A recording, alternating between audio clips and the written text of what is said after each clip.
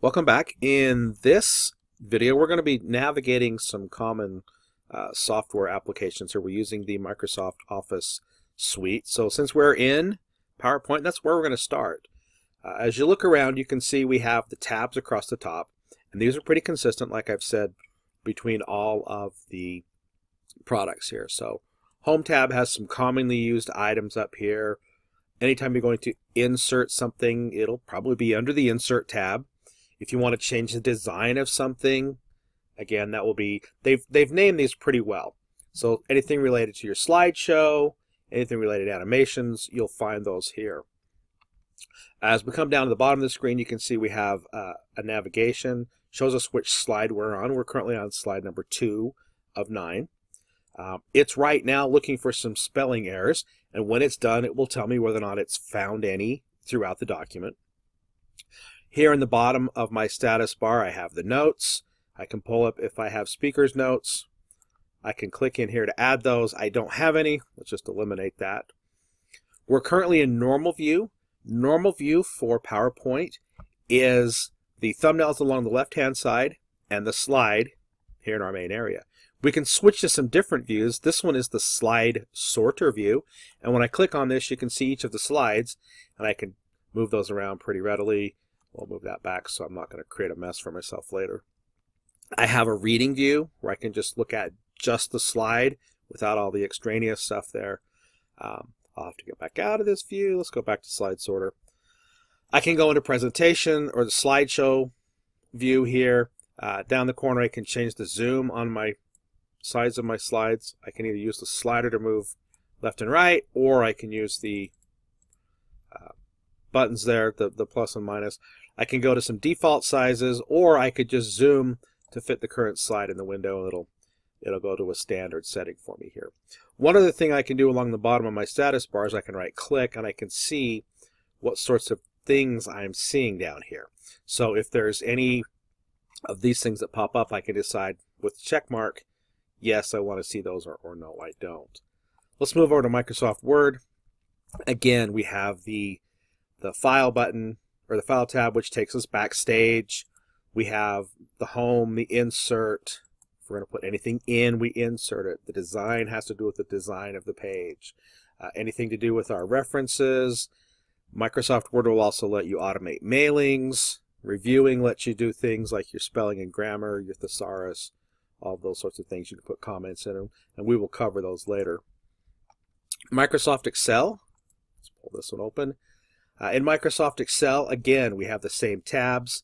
We have the same status bar. Down here, the difference is that we have different uh, tabs that we can look at.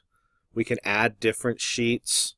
Again, we have different views. We can do the page layout, page break, zooming in and out. So it's pretty standard throughout uh, the Microsoft products that we're able to find our way around here.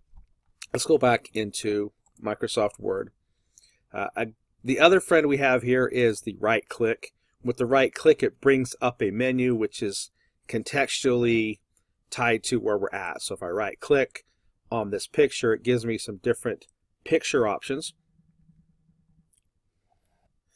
Uh, so in addition to right clicking, another way to find uh, help for a particular item in here is a contextual menu.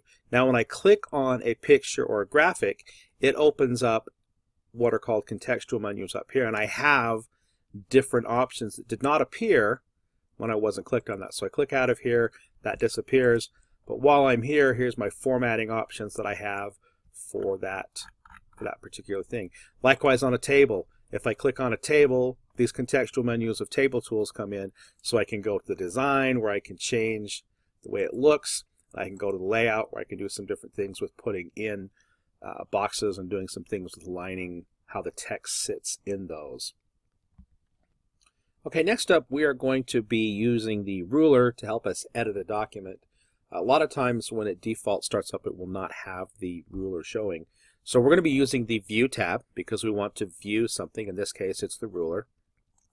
I click on the ruler, it's going to bring this up, and depending upon where my mouse is, you can see that I have about a one inch margin here on the left hand side, an inch on the uh, right hand side, and the rest of the space here is dedicated to where I'm going to be able to do my typing. When I click here you can see I have my tab marks that are showing up. So this is my first line indent, and this is where, excuse me, there we go, where my left indent and my hanging indent both go to. If I come down to my table, you can see it changes my uh, ruler right here. I now have two separate sets of boxes here for each of the columns that I have set up. So the ruler helps me kind of figure out where I'm at and allows me to change some things. And I can, you see as I move this over, it's going to be changing the size of my boxes. Control Z to fix that. Our next skill involves uh, the use of the navigation pane. So if you come down here to the bottom left corner, you can see that it's telling you how many pages there are. If we click on this, this opens up our navigation pane. This allows us to get through a document fairly quickly. Uh, it's really handy when you've got the big documents. So this is off of our headings. You can see we can see the pages here. So if I wanted to just go straight to the third page, if there was a particular chart or table that I knew was in a document, I could look at it this way and go straight to it by clicking on that for the navigation pane. We're also supposed to show you how to navigate through a document using the scroll bars. I think you know probably how to do this already using the scroll bars to go up and down or the only document I have that's big enough here to go side to side is my Excel document that I can go back and forth on. And the last skill for this particular standard is going to be looking at our zoom options. So we're going to go into view because that's how we look at it. In our zoom group we have some options. You can change, zoom in here to different percentages. You can see that's going to look quite a bit bigger. I can go back and I can just grab 100%. I can make it so I can see multiple pages at the same time. Sometimes you might like to see something like that. I prefer one page or if you want to make sure that you're able to read this because this is a little bit tiny for you, click on page width and it will show you the actual width of your page. So if you're not happy with the way that looks, go ahead and go into your view tab and hit zoom. And we are done with this standard.